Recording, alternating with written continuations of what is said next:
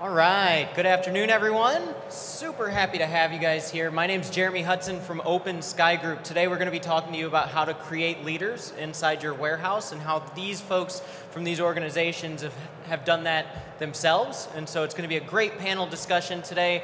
I'm going to start by getting straight through the intro. So like I said, my name is Jeremy Hudson. I'm a Vice President of Client Services at Open Sky Group. Uh, we do WMS implementations primarily along with LMS and TMS. And so really excited about the relationship I've formed with these gentlemen and doing implementations with them. So without any further ado, we'll let them introduce themselves. Uh, we'll start with you, Matt. Thank you, Jeremy. My name is Matt Killo, Director of Logistics at Encore Wire Corporation. Um, I got my start at 18 on a forklift, much like the rest of us, and uh, have been in logistics in some form or fashion for the last 20 years. So thank you for, be, for having us. Hi, everybody. My name is Anthony Grulon. Uh, I've been with Clemens Food Group for the last 13 years. Uh, 13 years ago, I started as a warehouse operator. I started with uh, case picking and other activities of that sort, uh, pallet picking and loading.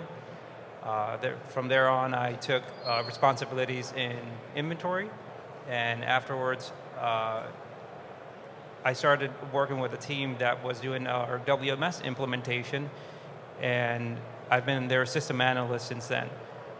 Uh, I cover three warehouses across uh, two plants, uh, supporting them and working with process improvements and report creation as well. Thank you. Good afternoon. My name is Jerry Spence, Senior Director, Engineering and Planning. Um, I've been in planning and engineering my whole career. Started off with the U.S. government, working on Bradley fighting vehicles and drones for the Air Force, and then switched over to retail, which was a, a big shift.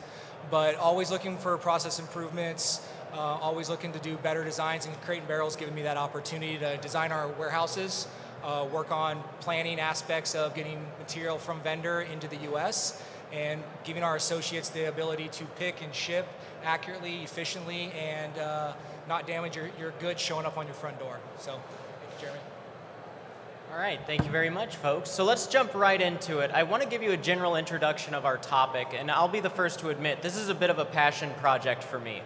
Um, luckily, in my role, uh, doing what I do for OpenSky, I get to visit a lot of warehouses around the country. I get to see a lot of different operations. Uh, and something I think is trending downward, uh, and it's disappointingly trending downward, is the creation of leaders inside of our warehouses through organic leadership training practices. The idea of looking at warehouse associates and understanding are these folks eligible to become leaders and what are some of the benefits of that. And so, really, what we want to focus on today is I've worked with these organizations quite closely, and each one of them have a wonderful track record of forming leaders inside their operations and really taking advantage of that opportunity. So, I really want to get their inputs around what's worked for them. Uh, how they're succeeding with this model and why we think you should really go back to your operations and look for opportunities to do the same as what they've done. So that's going to be the topics we're primarily going to cover today, and I am really excited to jump right in. So I guess first of all, um, I'd like to give everybody some relief, right? You are at a show where you will walk out that door, walk through these different booths, these different exhibits, and pretty much everything costs a ton of money right? Uh, I don't think there's much ways to sugarcoat that. There's a few bargain items out there, right? But everything we're looking at here at ProMat is a major investment, except for this idea, right? And I'm not selling it to you. This is an idea strictly around investing in your talent, investing in your people. It's a paradigm shift potentially, it's a change in culture, but it's not something where you have to go back and do a capital improvement plan and justify the expense. This is something you could take back, it's a tangible piece of advice, a tangible piece of methodology that you can start using tomorrow. And so that's really kind of the, the premise I want to at least establish for the sake of this conversation. And Matt, I, I want to start by asking you our first question today. Now, you've been at Encore leading that operation for roughly three and a half years. Um, when you came in, we were struggling with turnover, we were struggling with fulfillment rates, things of that sort, and you have made a huge change in that operation. Now, I, am not going to sit here and shower you compliments the whole time, but I know that you know we've seen reduced turnover at Encore. You've significantly increased your volume and throughput. You've improved your safety scores across the site, And I know a major factor, when you tell me how you did that, a major factor is you've promoted people to the right positions with the right experience. And so, just could you give everybody a little bit more context around how you've promoted leaders in your operation and why that's so important to you? Sure. This is uh, this is a topic that's personal to me, obviously, because, um, like I mentioned, I was started on a forklift uh, when I was 18 years old, and so it, it took someone investing the time in me and knowing who I was and how hard of a worker I was to give me that chance, right? And so when it comes to making larger decisions later on when you're leading an organization, you you have those experiences that helped you form your opinion and and know what works, right? It's not me sitting in an office uh, making decisions having never done the job before. So that's what's helped me, and the same thing that that they looked for in myself, I look for in people that we promote. They've done the job. They've done the job really, really well. Um, I don't think you get promoted from coming in and doing your job, yeah. right? You got to be the best. You have to be a top performer, and then you get, you're considered for the next position. Um, but having done that and promoted those people that have done the jobs, they have a really good understanding of how things work and what works and what doesn't work. So that helps them when they turn around and have to lead their operation and then make those decisions for the people that are now doing the job they used to do. Yeah, no, I think I think it's obvious, right? If I'm a leader and I'm asking someone to change something they're doing, do something differently, et cetera, having that background of, listen, I know what the impacts are going to be to you, right? I know that's how, that's going to affect your job. Just gives you that better decision-making capability. Now, Jerry, I want to switch gears to you. Now, obviously, you're running a pretty large engineering team at Crate and Barrel. You make a lot of decisions around what's going to be productive, how it'll be productive, how productivity is managed, measured, et cetera. How I, I know Crate in working with them, Crate and Barrel, they've got quite a few leaders that have risen through, throughout the ranks. I know that you know your DCs put a priority on really promoting those from those floor level positions upward. How has working with those individuals helped you from an engineering standpoint? It honestly makes my my job easier right? Um, you know, my, my experience is I always like to get my hands dirty. Um, so I know I'll say 80% of the job.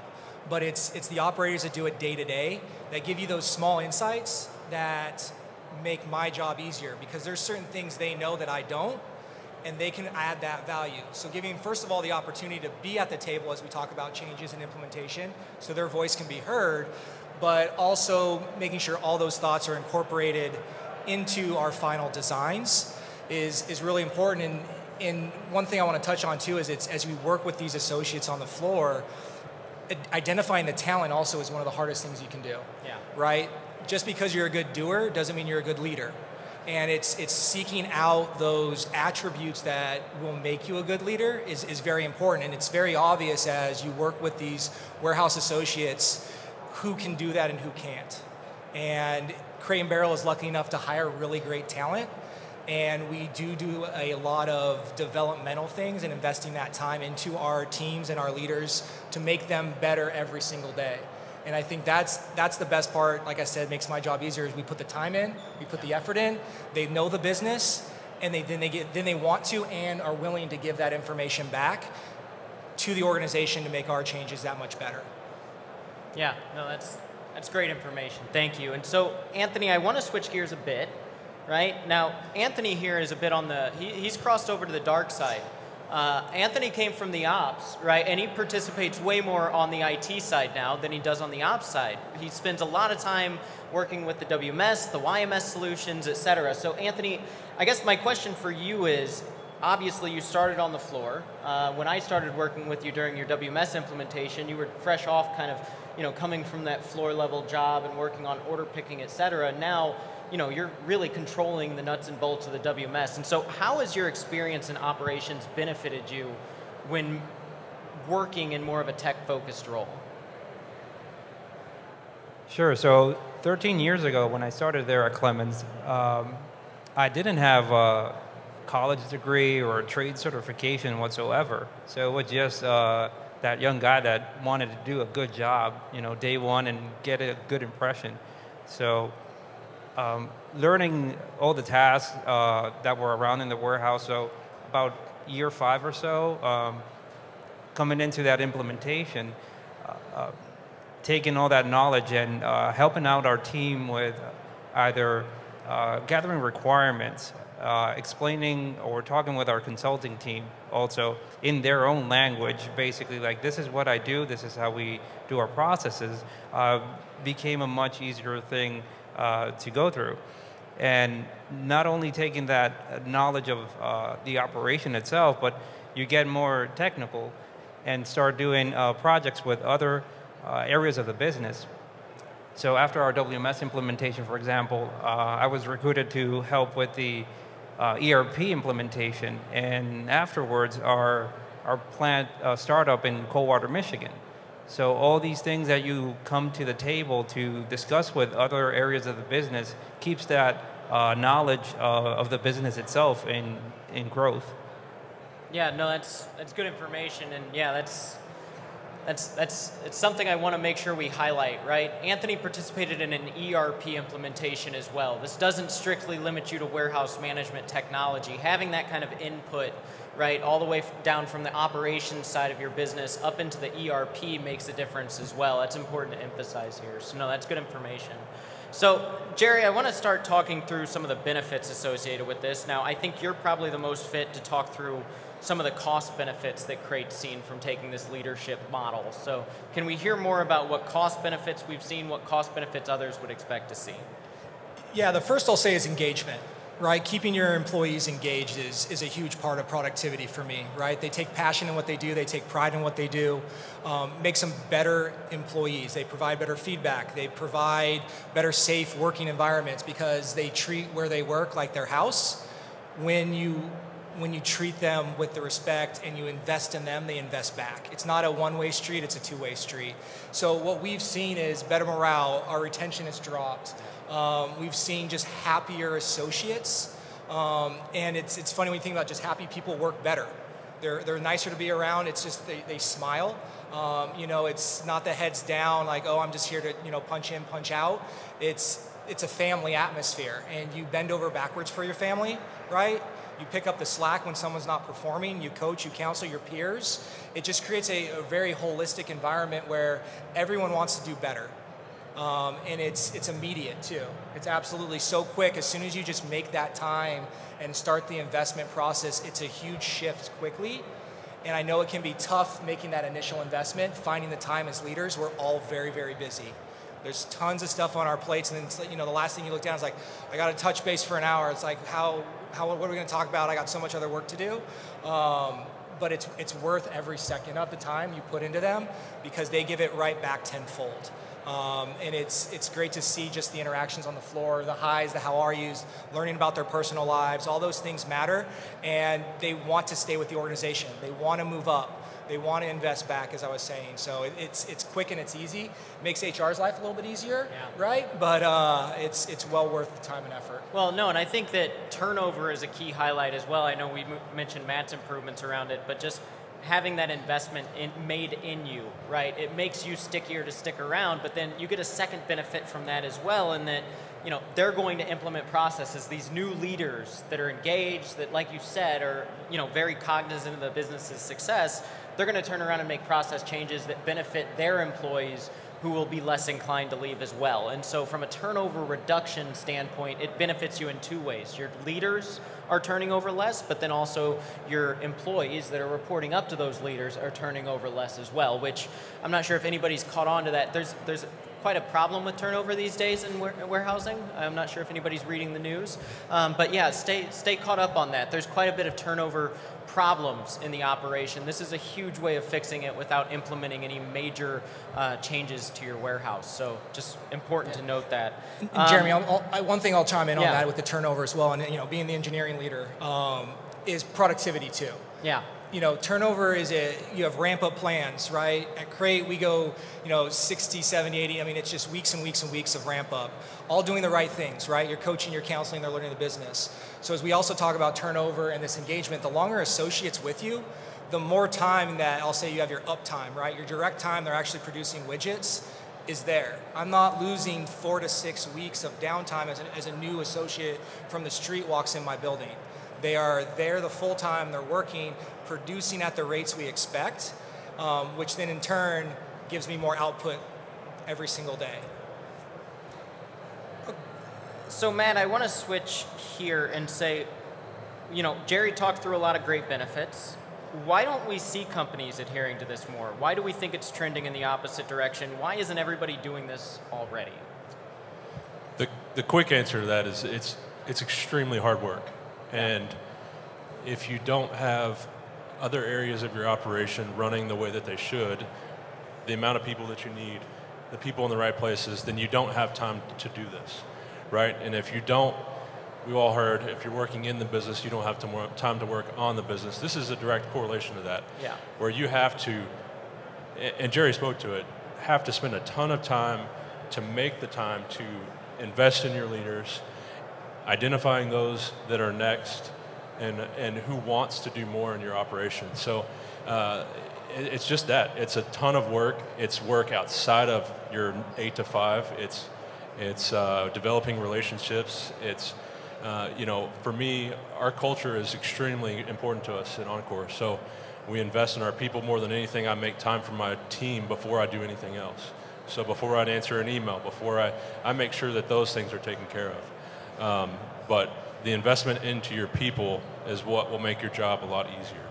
Yeah, and I think culture is the key word there, right? I, I think you do have to have a culture that's really rooted in focusing on your employees, focusing on growth, focusing on opportunities for those individuals. And luckily, that's something all three of these organizations have gotten really, really good at honing in on, right? But I think you have to go back and question your culture, question how you're focused on culture, and really growing your growing your talent pool organically. And Jeremy, now, again, yeah. I add something uh, with what Matt was referring to also that uh, many organizations don't realize that uh, you have people that have been there five, eight, ten years, and if they walk through the door, they're taking all that knowledge with them, which yeah. is very difficult to just uh, plant somebody in, and they're not going to learn that 10 year experience in two weeks. It's very difficult.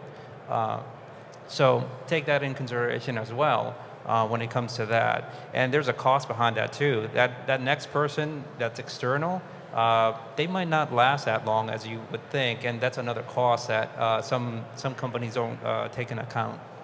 Yeah, no, it's important to, to call that out. Now, I will preface not every person in your warehouse is a leader, right? We've said that already. Your top performer may not be your top leader. Your top you know, a picker may not be your top supervisor. That doesn't necessarily correlate.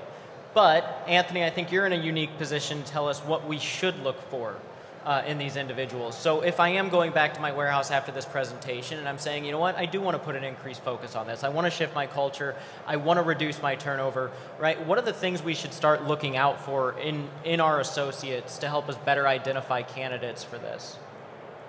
Um, you know, some sometimes what we uh, are in our teams uh, looking for that next leader, or we've seen people that are um, constantly giving suggestions as well that are for the um, best interests of the organization, and we don't realize that until they're they leave or they they try to switch a department.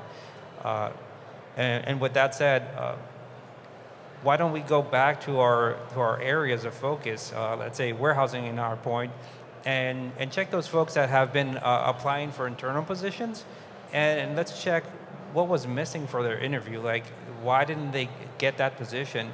Is it something that they needed as far as a skill set, or is it uh, personal improvement? Uh, so I, I can say that for myself because the first time I applied for a supervisor role, I did not get it but I knew exactly what was going on. I needed to do some uh, self improvement as well. Uh, also, um, there were other skills that needed to be developed as well. So it wasn't uh, from the first time that, oh, yes, I could be a supervisor. So no, absolutely not. It took me three, four times applying and coming back to uh, and reviewing exactly, okay, what is missing? Um, so just to point that out, that it's it, it's important to look at after those folks, and if they do need some skill sets, that is uh, something that we can offer them. Um, let's try to help them out. Yeah, and I think another focus area as well is it should be those folks that show a natural curiosity towards things, right? Those individuals that don't simply want to know why did the system tell me to do it this way, right? That don't simply want to know why did I have to go over there. The ones that actually say, hey, can I can I actually see that, right? Can I look at that? I mean, I know that something that comes naturally to some individuals is that curiosity that digs them down to that next level where they'll start really looking at that a little bit more intimately. They want to understand it more, right? I, I, think some of us may consider that an annoyance on the surface. I'm a systems guy. I know I do occasionally. I'll admit to it, right? Fault of mine. But I, I think you have to learn to emphasize like the, the, the, the benefits of that, right? Someone that actually does want to dig down, pull them over, right? Let them look over the shoulder on your screen. Yeah, so we have this configured. It's looking at this attribute, and that attribute drives it over here, right? And they'll learn okay, that's why it's doing that. You've got some other individuals that are going to look at it and go, okay, whatever, right? But you've got some folks that naturally want to, okay, well, why is that value off? How do we get that fixed? What do we need to remeasure? Why is it length versus width? Just simple curiosities like that can oftentimes help you really identify those that would that would you know potentially be adequate for that next level. And then I know technology even I would emphasize, you know, Anthony your skill set has led you towards more of the tech world. Something I look at in some of the employees we have is the, the folks that are interested in gaming, the folks that are interested. I mean, so many folks are kind of amateur coders now and things like that on the side. It's important to solicit that information and, uh, and know what folks are interested in as a hobby. That might very well qualify them for a future position. I know one of uh, Matt's top leaders in his warehouse uh, drives drag racing cars. And last summer, he took the whole thing apart and put it back together. That's a great example that can someone that can probably figure out an operation pretty well. Someone that's capable of that disassembly, reassembly. They've got the patience for it. You know, they've got that skill set. That's something, you know, it's just worth noting. Keep an eye out for those types of qualities. That's not to say you should only hand, uh, hire drag racing drivers. I, I don't think that's probably an adequate model, but uh, those types of hobbies help you really identify someone's skill set and their, their knowledge level. It's a good thing to know. Um, okay, so let's let's move on to this one, Jerry. I want to switch gears here again, and we are at ProMat for those of you that forgot, right? I think it's plastered somewhere up here. Um, so a lot of folks in this room are going to look around and go find an ASRS system or a robotics system or something like that here that they think is great for their operation. Now, how can we leverage folks that have operational experience, right? How can we leverage them in some of the decision making uh, that comes out of the ProMat event? Yeah, so I'll, I'll, I'll give you the way I'll, i look at this, right? As, as Jeremy said, there's a ton of organizations here, a ton of new technology. And, and my job is, I'll say, to take 100 vendors and narrow it down to five, right? So I'm analogy I gave Jeremy earlier is I'm HR, I have a new position open. I take the thousand resumes I get and I present him with the, the five best. And that's how I look at this show for me and what I would do with my ops team. So I've been here, I'll be here two days. Operation shows up tomorrow, right? So I vet as much as I can and then show them what I think is best for the operations for them to get, you know, I'll say the last 10%. I get us 90, 90% there and they give me the last 10% going back to operations involvement in the technology they need to use is crucial. I'll just say my biggest number one rule why buy-in.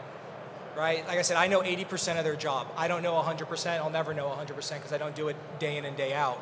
I need their buy-in for the solutions because if I don't get that, it's just going to be an uphill battle the whole way through. So my role is to eliminate the noise and really focus on what will get us what we're looking for, either throughput or productivity, cost reduction, right? And setting those goals up and those pillars to begin the, before you show up is how I how I leverage their their skill set in the show. Yeah, no, that's a that's a good call out. So so yeah, no, I think that's important to note. So guys, I, I wanted to kind of walk you through, right? We've talked about the concept, we've talked about the benefits of the concept, but Matt, I think the the next part's going to fall on you. So no pressure how do we put this in action, right? If I'm loving everything that's being set up here, if I think I'm getting a lot of great information out of this panel, I want to go back to my warehouse, I want to talk to my leadership, or I want to, you know, cascade this message down to my operations leadership.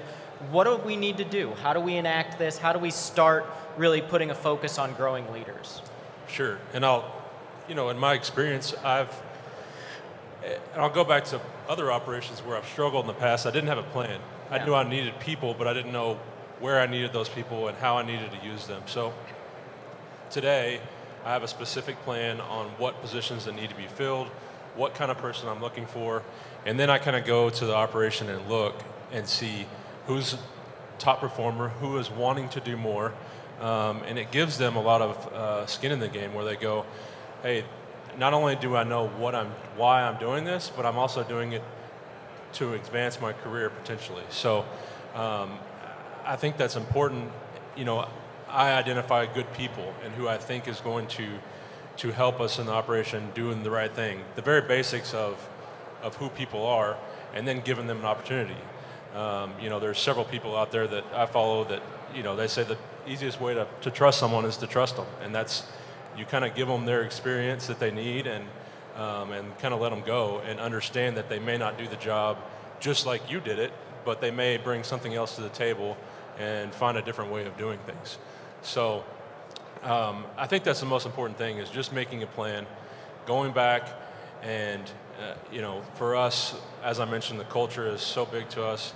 Um, there's three or four things that we have to do to make all these other things happen. I think you got to offer a good wage to, to your people, um, offer them a good place to work and a good company to work for. And uh, so that's, if you have all those things in line, then you can identify and start developing the leaders for the next generation. Yeah, and, and, something I've seen work really well, an opportunity to give people a chance to show out, has been creating committees, creating small kind of task force forces that can be led, right?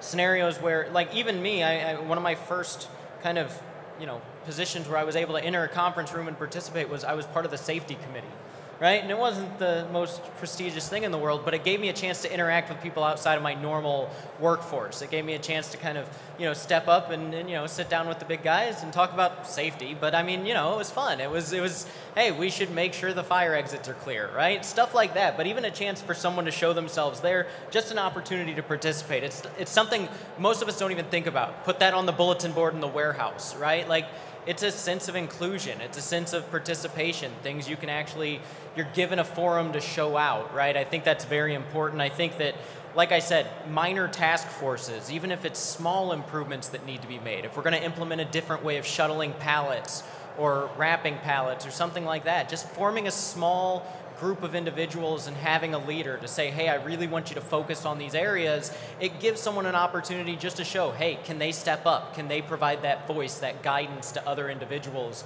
It's certainly beneficial in that way as well. So I, I think any chance we have to create micro committees, you know, opportunities for others to participate in those larger groups, I think it's beneficial. So that's good. Um, Anthony, what I wanted to ask you is, right, um, so we've talked about you know how we can start implementing how do we ensure success? And so you know these individuals that are growing within our operation what what can we do for them to make sure they succeed and they're not you know they're not they're not failing in that next level of leadership that we promote them to?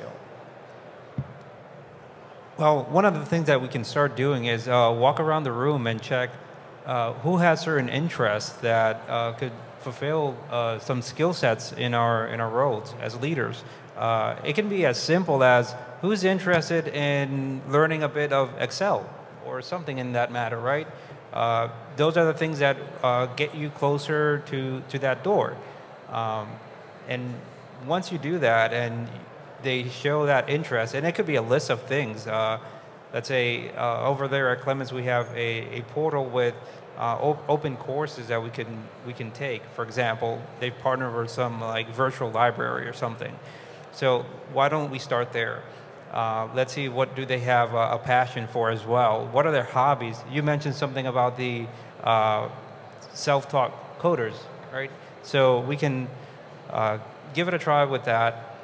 Uh, sometimes uh, check who's out there doing even outside activities of work, like our are they leaders of their communities as well? Uh, and, and, let's help them out too. Uh, those folks that uh, have care in their community as well, they will show the same type of care for your organization if they are uh, feel that they're treated as an individual with respect as well. Yeah, and I think a word that we haven't mentioned yet is mentorship but I think that's incredibly important. I know when I was rising up throughout the ranks in the warehouse that I, I started in, I was very rough around the edges. I'll admit that, right? There was probably some meetings where I should have stayed quiet and I didn't. Um, and I, uh, I took the embarrassment for that, right? But it really helped to have mentors throughout my career, and I'm sure you guys can say the same, that, you know, did provide that extra sense of guidance. There's certain things, coming out of a warehouse, there's certain things you just don't learn about how to participate in a conference room or in uh, other forums, right? And I'm sure, Anthony, I, am sure you can even say when you when you got in that ERP room, those SAP folks, they're a little bit different than the uh, warehouse guys, right? It just it takes a different it takes a different feel, a different kind of behavior, a different way of suggesting ideas to really adapt to that forum. And I think any kind of mentoring helps to make sure that awkwardness is reduced right? To make sure folks kind of understand the environment a little bit better in the ecosystem. But I, I think, you know, it sounds simple, guys, and I understand this isn't a, a groundbreaking idea, but making sure you emphasize and say it. You're a mentor, right? You're going to mentor this individual. I'd really like you to make sure you work with them on their success. It's, it's not, it, in my opinion, mentorship can't be assumed right? You can't just say, I'm going to assume that person's going to find a mentor, and I'm going to assume that person gives that other guy advice right? It's got to be more implied. It's got it's got to be more emphatic about you are going to mentor this individual. I'd really like to see them succeed in this way. It's a great way to make sure these leaders are able to grow within your operation and succeed. Um, yeah, let me add to that. That, for example, uh, SQL coding. Uh, I didn't know SQL coding six years ago, but uh, being a liaison between warehousing and our IT department, uh, I started learning how to do some coding. And what would I do? I would uh, do little uh, scripts and show them to uh, someone in our IT department, and, and, they would evaluate like, oh yeah, that looks pretty good, but you can also improve by doing this or by doing that.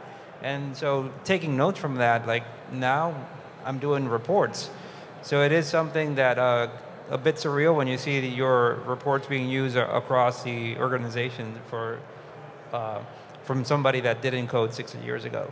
Yeah, yeah, no, it's great good call out. Um, Jerry, my question to you here um, is, how can people how can people make sure their partners are on board with this? So there's very few organizations that do everything alone, right? You're going to have consultants, you're going to have implementers, you're going to have all of these people sitting at these booths at ProMat, right? They're going to come and help you implement and help you kind of do these different operational improvement tasks, how can they help you with these programs? What can those folks take into account to make sure this is successful?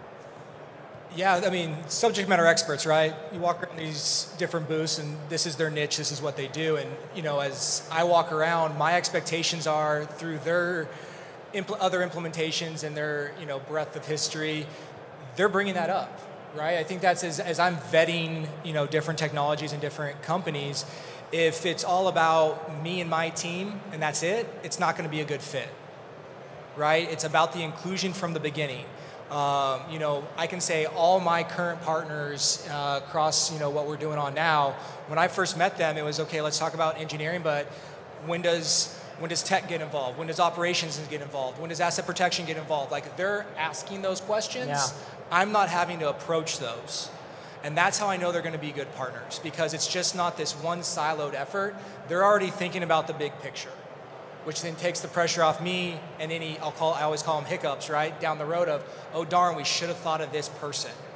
They're bringing that knowledge up front and coaching, counseling us, and mentoring us through the process and through the project. So for me, it's as you talk to these vendors, or if you're a vendor yourself, make sure out of the gate they're already talking about the current partnership with you, but the bigger partnership with the entire organization and your company because as we talked about just you know building in leadership from the inside they should be also bringing other leaders in with them as well um, to make sure it's a holistic view of every problem because if you know not everyone has a seat at the table the problem's not going to get solved correctly right? And, you know if, if it's just a conference room it's not going to get solved correctly you need all the individuals you need to be on the floor you need to be vetting ideas you need to be doing all these things and if that partner day one isn't saying those things, they're not going to say it day two, and they're not going to say it day 100.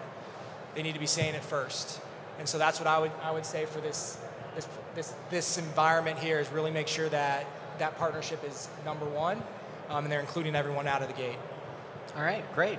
So we're we're about to wrap up, but before we do, um, I'd like to go through each of you and just ask if you wanted if you wanted the audience to take away one thing from this presentation, right? Again, I think this is a passion project for several of us, uh, but if you wanted this group to take away one thing, um, what would that be? Matt, we'll we'll start with you.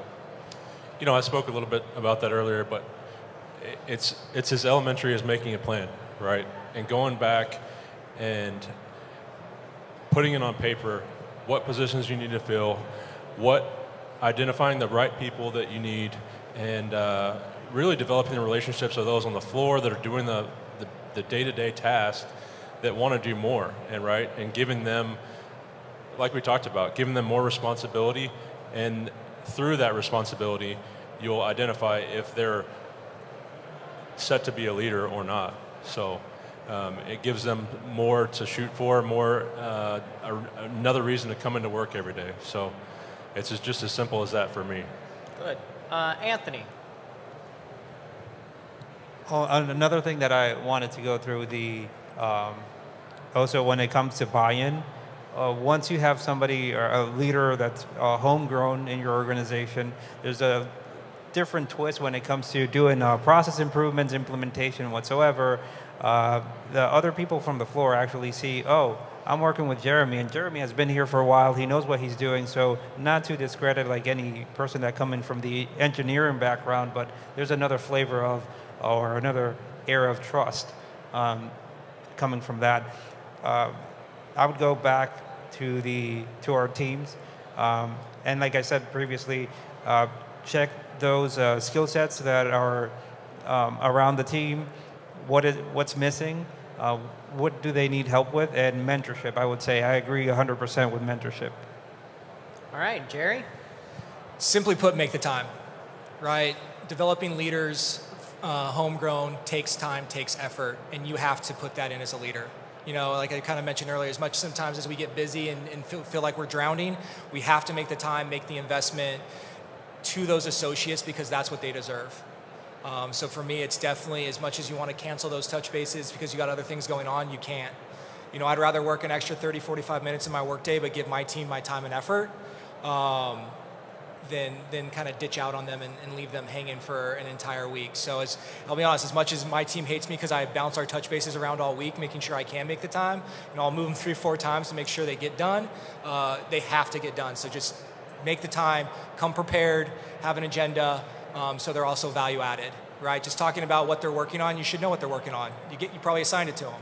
So think about all those other things that you should be talking about. You know, accolades, feedback, their goals, right? Making them a better, well-rounded, eh, you know, associate. All comes back to being prepared and making the time for them.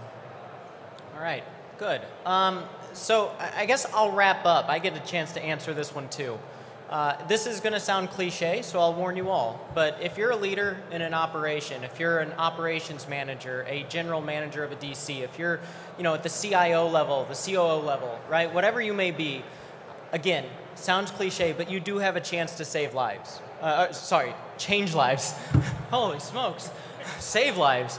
I don't know about that, but you certainly have a chance to change them, right? And I can speak from experience. I started in the warehouse when I was 18 years old, and leaders gave me opportunities I did not earn, that I did not deserve, that I had no justification in doing, right? But they took a chance on me, and it was great. I went from floor floor picker, right, to an, uh, a supervisor, and then from supervisor to dabbling in procurement for a while, and then back to operations management and up through the ranks. And it was all based on people giving me opportunities. And that's something I'm, I'm, I'm begging for you to do, right? Go back to your warehouse and look at those individuals because warehouses, we're flooded with new resources right now. Folks that may not have seen their lives going that direction. They've left retail for whatever reason, right? But they're now going into warehouses and they don't want to be seen as numbers, right? It's not a numbers game anymore. Um, we should look for opportunities to highlight those that can overachieve, and we should give them those opportunities to rise within an operation because I think, you know, hopefully, if this served as nothing else, it's justification to show you that you can find leaders um, and, and folks that can make a difference in your operation by simply looking within and really harvesting from that talent that you already have. So, with that, we've got five minutes left. Any questions our panel can answer? Anything that we can uh, we can answer today? Show of just raise a hand, to fire a question away. Anything we can answer before we wrap up? Yeah. I don't have a question, just a comment to uh, reinforce what you've said about mentoring. And that is, uh, I didn't start when I was 18, but I'm also more than four years older than 18. So uh, I've mentored a lot of people, and can you hear me? Good. That's a good idea. Thank you. I'm just saying, I don't really have a question, a comment to reinforce what you've said um, about mentoring and giving people a chance. And that is that nine out of 10 people, for those of you who would like a mentor, nine out of 10 people, if you ask them, no matter how senior they are, they will say yes. So nine out of 10 people, you got nine out of 10 chances that whoever you ask, even the CEO, depending on the size of the company, they'll probably say yes. Yeah. If you thought enough of them to ask them, people want to help. The other one is uh, those who ask for mentorship, those who stand out and say, I want help, or I want advice, or I want coaching, will stand out in the future. And you'll get noticed in the conference room, maybe in the boardroom. So um, I'm 70, so I get to say that. None of you guys are qualified to say that. Thank you very much. Uh, other questions we can answer? Yeah. Can you yell loud enough? I can try to project. You're going to need that.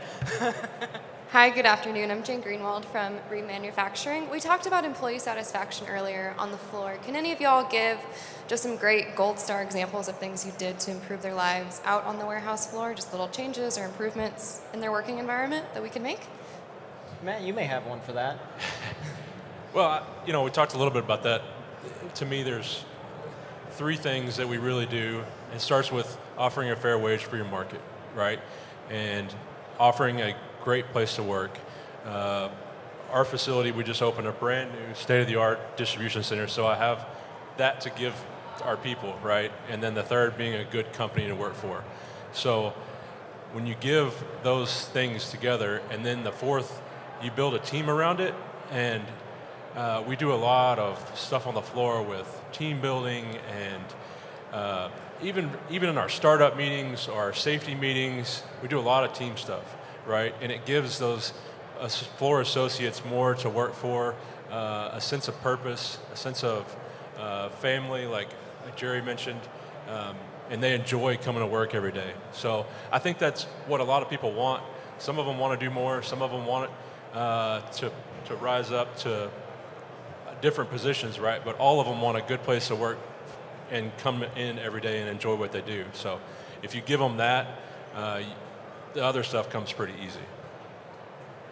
I want to add with that that during the COVID time, we kind of got adjusted to do a lot of video conference calls and not have like direct eye contact with people, and, and we kind of walked away a little bit of that. So I think it's important as well as uh, to pay attention to, to the people.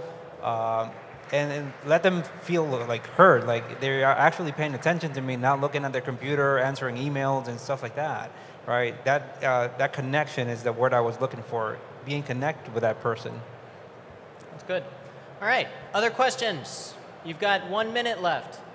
Rapid fire. Yeah. So, what would you say is the biggest challenge with mentorship? My intuition is like spreading yourself too thin, taking on too many, and then you, know, you go broad, not deep, and nobody really grows.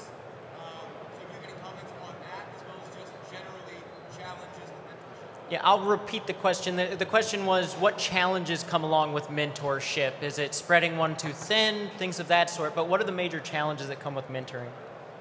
Yeah, I, can start. So, um, it, I actually got sh- shot down for a mentorship, right? And I actually, the gentleman who did it, I respect him more for it uh, because they were honest and open with me that they they didn't have the bandwidth. So I think to kind of your first comment is know what you can take on.